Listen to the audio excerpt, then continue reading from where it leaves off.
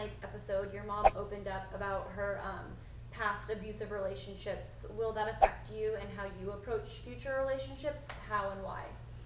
I think recently being in this relationship with Nathan, I mean, of course, all my other relationships, obviously they were bad, but this one really opened my eyes a lot because it's like, I don't know, I've never just, I've never been treated so poorly or disrespected. And um, I think he just showed me all the qualities of a man that you don't want. And I think it taught me a huge lesson. And I'm looking to focus towards my future and my kids. And I'm not looking to date anytime soon. If someone pops up in my life, then so be it. But I'm not going to go looking for anybody. Right. Your mom was really persistent on her belief that you were downplaying the fight with uh, Nathan. And Mm-hmm. um, what's the truth but behind all of that? Like with the ring Well, you know, well, the truth, you know, the truth is what I did say that he did wrestle me for the ring. But I mean, I didn't feel. I mean, I've been in past abusive abusive relationships. I got physical, and he he didn't scare me really. You know what I mean? I mean, there is a point in time where, you know, when someone abuses you, you can tell if they're trying to hurt you or if they're if they have another motive. And his motive was just to get the ring, and honestly, wasn't to hurt me. And I know that. But I mean, after that incident happened, we've had multiple altercations where he has scared me, and that led up to you know, you know, just more and more problems in our relationship, and you know why we're not together now. And what would you say to people who are who might think that you're making excuses for him? Because you know the situations where women kind of make excuses for the abusive guy, or Well, see, there's like a fine line because either if I say that he did something wrong, they say she's playing the victim, she's lying. If I say he didn't do nothing wrong, they're like, oh, she is the victim and she's trying to like hide it. Which, no, with, like I said, that incident, he wasn't trying to hurt me.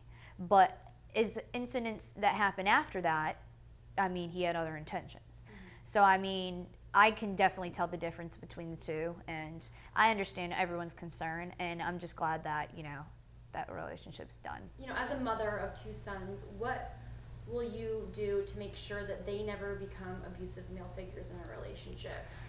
I want them to see. I want them to learn from. I'm I'm trying to teach them as well as I can from the relationship that I've been in. Like, you know, if me or one of my exes broke up, you know, Jace, like even Jace said, Nathan was mean to you, and I saw that, and he was really mean to you. And I'm like, yeah, I know, I know, I know. And, and then he got got to the point where Jace is like, I don't want to see Nathan. Is Nathan going to be around today? Because I don't want him to be.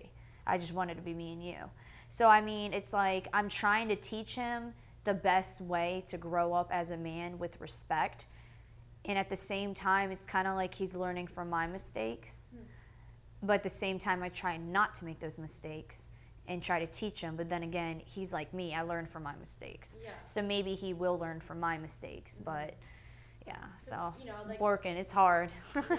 and and if Jace doesn't want to be around Nathan, you know, I'm not going to be like, well, we're seeing Nathan anyway.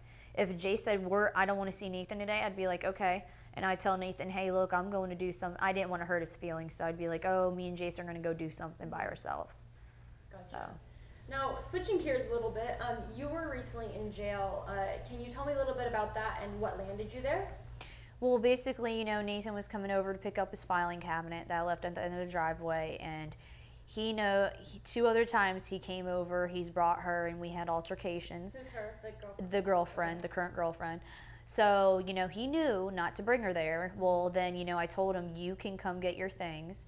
And then when I got there, she was there, and I thought she was trying to attack me because she got out of the truck, came to my driveway.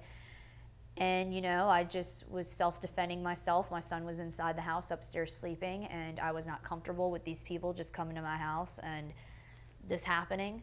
But, you know, it is what it is, and the police didn't believe a word I say, and they arrested me even though they came to my house. So Dang, So, do you think that? Why did you think that she was trying to attack you? She she got out of the car and she was she was like stepping towards me. Okay. So and then she ended up throwing the glass at me afterwards when I was walking away. Because the reports say that you threw glass, so you did. You Oh no, well well when I when I sprayed the water on her, my the glass from the condensation, it literally slipped out of my hand. Oh, okay. And when I after it happened, like it hit her head and then it landed in her lap. And then when it landed in her lap, I turned around to go back inside because I was like, oh my because I didn't I didn't mean I didn't mean for it to happen. So then I was like, oh my god, I'm gonna get in so much trouble. So then when I turned around and walked away, Right. she picked up the glass and threw it at me. Oh, no. And I was like, I was surprised because I didn't think she was going to do that. So then I went inside the house, and then Nathan's like, she came out and attacked her. Well, there's a reason why I didn't just go attack someone just to attack them. And isn't she like a quote unquote good girl? Like she's trying to be virgin before marriage and things like that, or is that not Yeah, true? well, she said that she doesn't believe in sex before marriage, and I was like, so she's a virgin? And Nathan's like, no, she's been married before. I'm like, oh, okay. Okay. So it's a loophole. yeah. Usually. And she goes out drinking all the time and stuff, but she's a big Christian. Oh, Yeah. One of those. um, so you know, some people worry about you know all the rough times you've been through and your history of um, relationships. Do you ever consider counseling? I know you've kind of been in, uh, in and out of counseling, right? Or, or Well, actually, I, I see a psychiatrist right now. okay. and she prescribes me Zoloft for my depression, and I have general anxiety and panic disorder.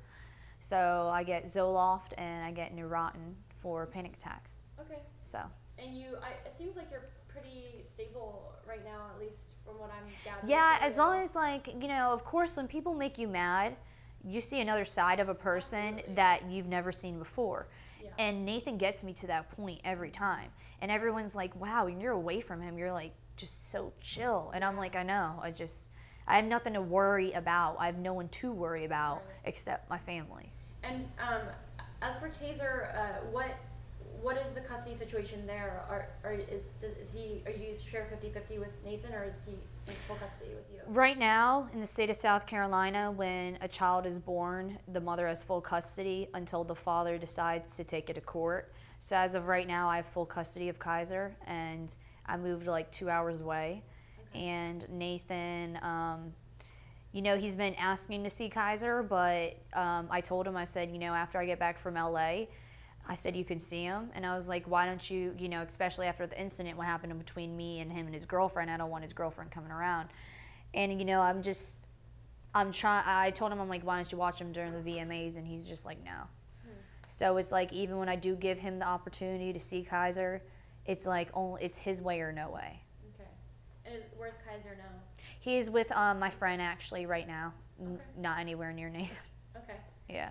Uh, there were are, are some rumors online right now that you created a fake Ashley Madison account to make Nathan look like Yeah. a cheater. Is that true, or do you actually have one? Tell me a little bit about Well, first of all, I had, you know, I had a tabloid message me and goes, "Is this Nathan's email?" And I thought, and I know that email, so I'm like, uh, "What did he email you? Is he selling me out?" And they're like, "No, actually, we just found it linked to Ashley Madison." Huh. So they're the ones who told me, that. And I had no idea about it. okay. But then his friend Josh and everyone is Nathan's friend Josh is like, oh, she made it. Da da da. They're like, oh yeah, when Jenelle found out about this, she made this account and linked it. Yeah, sure. No, that was his email because he got locked out of his Gmail, so he made a Yahoo. Okay. So